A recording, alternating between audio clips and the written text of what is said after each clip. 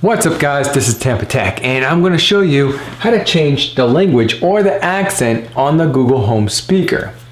So the first thing you want to do is download the Google Home app.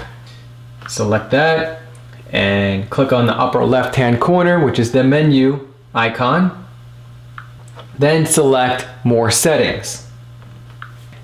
In that menu you want to select one of your speakers. So this is my kitchen speaker, so I'm gonna select my kitchen speaker right here. And then next, you wanna go ahead and select assistant language. Uh, select that right there.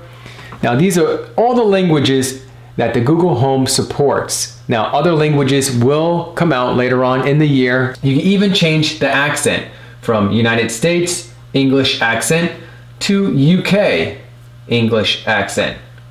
Select that and let's try it out. Hey Google, what is today's temperature? Today in Meadow Pointe, FL, expect a high of 55 and a low of 34 degrees Fahrenheit. There is currently a hard freeze warning in effect. Now, let's try the Mini. Remove that and see if it automatically changes on both speakers. Hey Google, what is today's temperature? In Meadow Pointe, FL today, expect a high of 55 and a low of 34 degrees Fahrenheit. So it works on both speakers. So once you change it on one speaker, it changes on all speakers.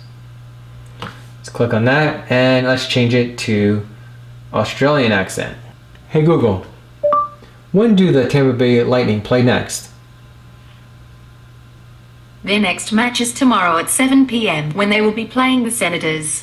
So if you know anyone that this video will help, go ahead and click on that share button below and share this video to them, help someone out.